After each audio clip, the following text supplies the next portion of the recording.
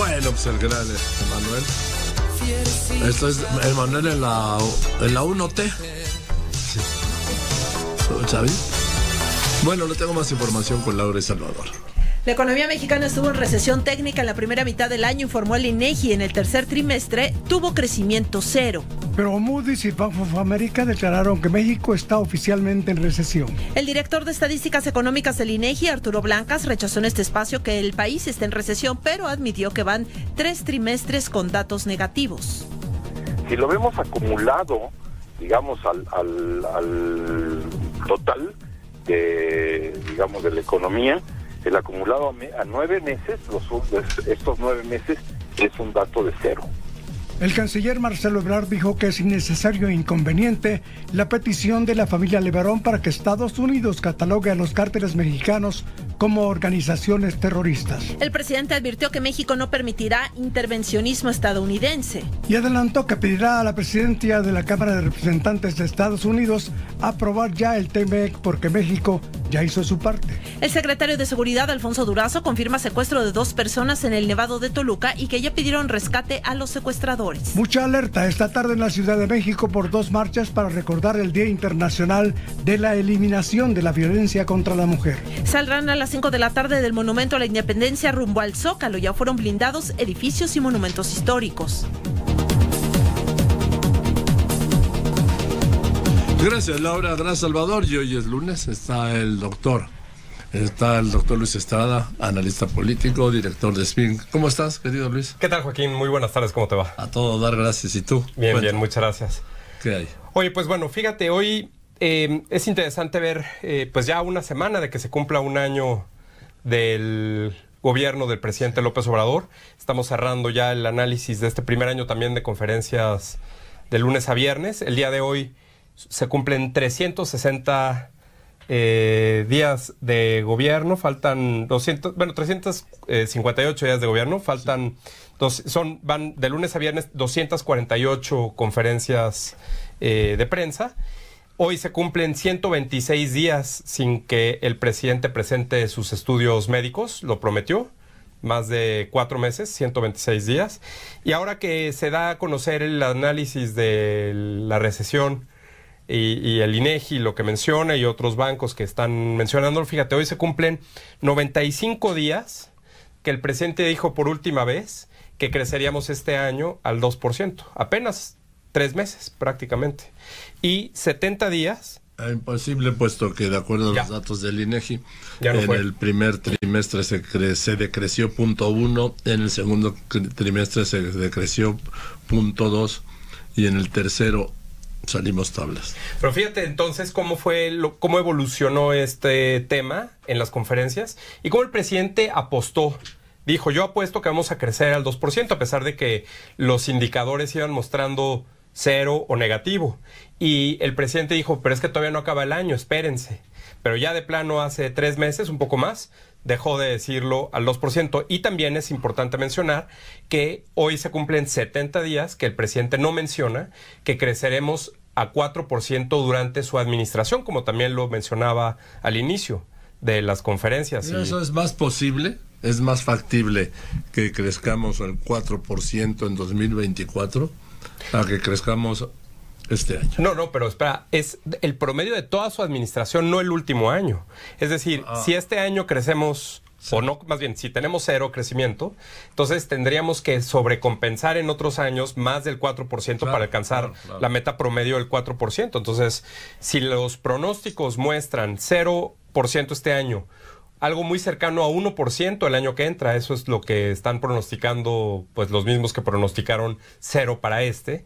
Pues entonces imagínate cuánto tendría que ser la proporción, más de 5%, casi 6% en los últimos años para compensar el pues la falta de crecimiento en este y el crecimiento tan bajo que se pronostica para el próximo año. Por cierto, eh, en el libro, el presidente, en su libro que presentó la semana pasada, hacia una economía moral, que presentó en la conferencia de prensa, eh, recibió críticas al presidente por presentar un libro personal. Ahí sí que yo creo que esas críticas sí, pues...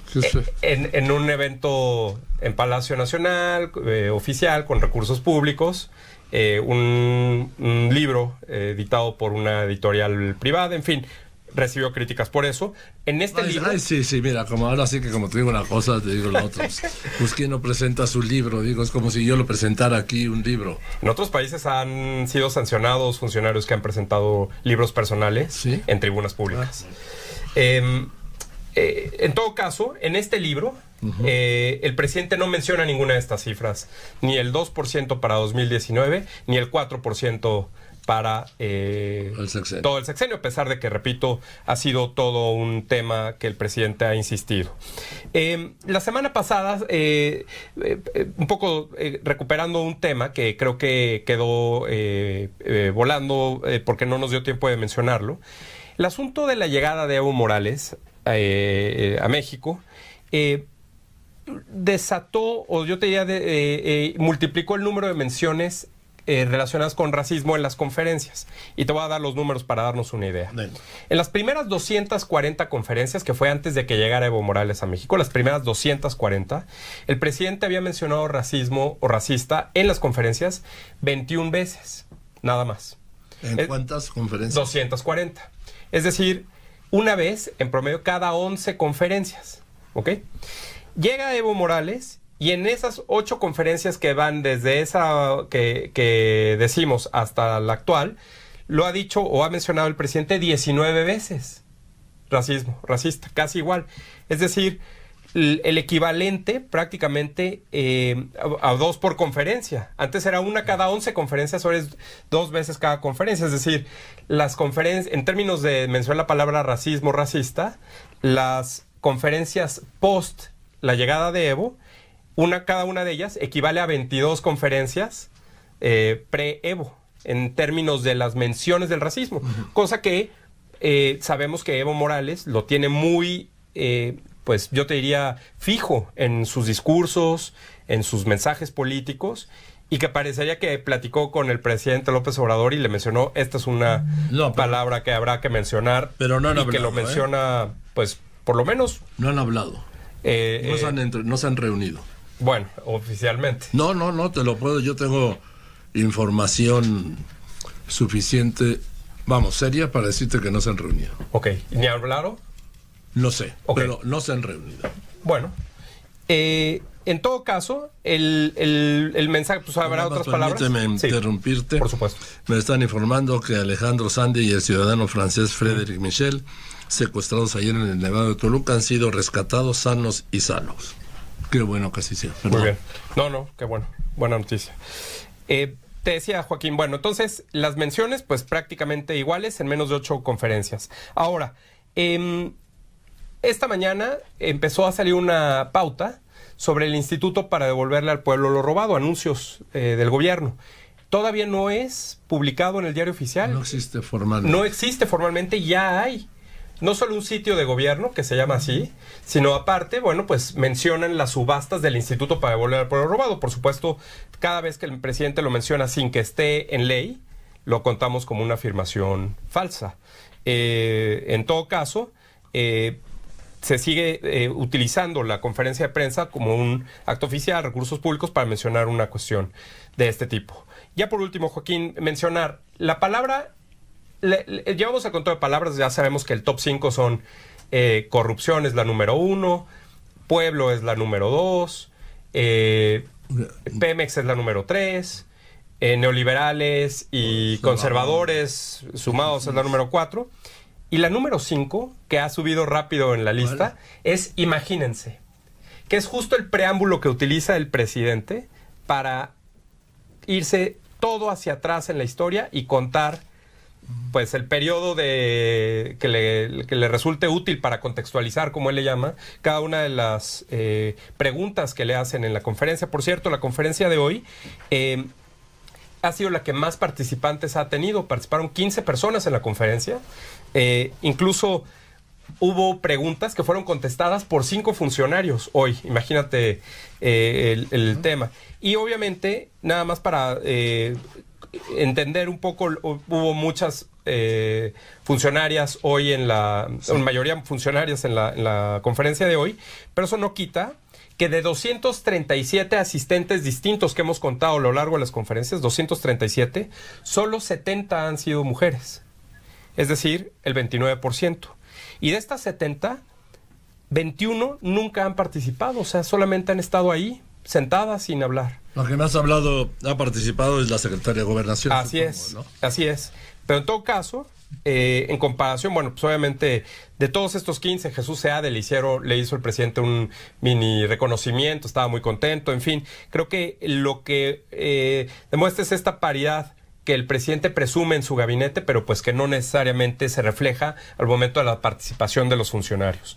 Y eh, mencionarte, hemos estado revisando, lo, hemos platicado aquí, la audiencia de las conferencias en Facebook, del Facebook del presidente, que sabemos que es muy numerosa, a pesar de que eh, es una proporción muy baja respecto de sus propios seguidores. Nos dimos a la tarea de revisar cómo está rankeado el podcast del presidente en el cual se transmiten sus conferencias en dos plataformas.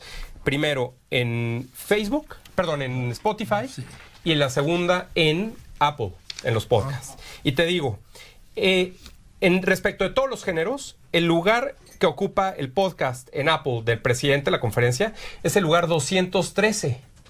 ¿Eso es mucho o poco? Pues mira, en México, ¿eh? 213 ah. en México. El podcast más escuchado en Apple es La Corneta. En noticias, en la categoría de noticias, el presidente, el podcast del presidente está en el lugar 71 creemos que es muy bajo para lo que dicen que pues mucha gente lo escucha. Ahí el doctor Netas es el primer lugar. Y en Spotify, eh, en la categoría de noticias y política, el presidente está en tercer lugar, la Radio de la República con Chumel está en primer lugar.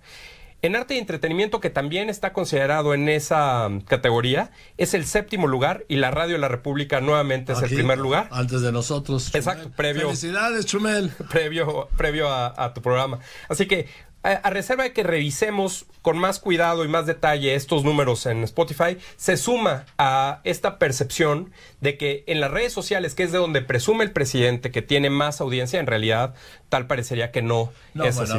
Vamos a revisar. En Facebook es lo más visto que hay. Recordemos también que en Facebook son solo tres segundos. Sí, lo que sea. Y que son sus seguidores. Y, tenemos el 7% de sus seguidores los que ven la conferencia. Sí, pero en números brutos. Pero repito, solo se necesitan tres segundos. O sea, es, yo, quiero, yo quiero tener esa cifra. bueno, todo parte del número de, seguidores. De 400 mil, bueno. Todo parte del número original de seguidores. Si, si el presidente tiene casi 7 millones de seguidores, que, que tenga en promedio 480 mil, que es un número muy grande, pero respecto de sus seguidores, pues es un número, es un número yo, yo haría una abstracción del total digo, seguidores me quedaría con él. ¿Con los seguidores? Yo no, con los que están viendo. Ah, con los, con los de las vistas. Sí, con las vistas, sí, sí. La próxima semana, Joaquín, tendremos un resumen completo y lo vamos también a, poner en redes de todo lo que eh, sea el primer año. Termina justo este viernes en términos de conferencias. O sea que lunes necesitamos más tiempo para el doctor Estrada, por favor, sí. Y vamos a poner una infografía especial con los datos más importantes, por supuesto, y eh, toda la información, si googlean SPIN y conferencia presidente, ahí va a aparecer. En redes sociales, en Twitter, arroba Luis Estrada-bajo. Y por supuesto en lópezdoriga.com. No, pues entonces el lunes sí vamos a necesitar más tiempo para el doctor Estrada porque se va a echar todo el año, ¿no? El primer año. Viene todo el año. Va a estar bueno, ¿no? Yo creo que sí. ¿Te da tiempo hacerlo para el lunes? Sí, por supuesto. Todo. Bueno, bueno. Lo tenemos, lo tenemos actualizado al día. Muy bien, sí lo sé, lo sé. Pero quería que me lo dijeras. Eh, entonces, ¿algún algo más? Pues nada más. Eh, mira, quizá mencionarte el asunto de de Sicilia, la frase de la semana que nosotros escogimos, dijo el presidente la semana pasada.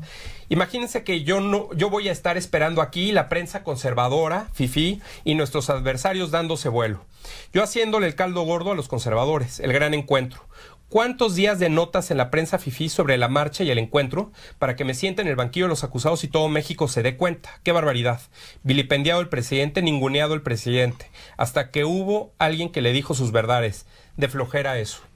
Yo recuerdo nada más en referencia a esto mismo que el presidente López Obrador no quiere, los foros que hizo el presidente Calderón en diferentes lugares, incluso yendo a las ciudades, en Ciudad Juárez, en el castillo de Chapultepec, donde justamente se sentó con las víctimas, con los familiares de personas que desaparecieron, que fueron asesinadas en la época más fuerte de violencia, y el presidente, de plano, aquí lo, lo cito textual, el presidente López Obrador dijo, da flojera eso.